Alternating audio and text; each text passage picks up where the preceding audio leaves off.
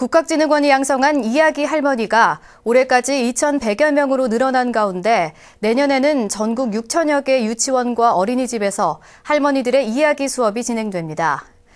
국학진흥원은 이야기 할머니가 늘어나면서 내년에는 전국의 유아 4명 중 1명이 할머니들의 이른바 무릎팍 교육을 받을 수 있게 됐다고 밝혔습니다.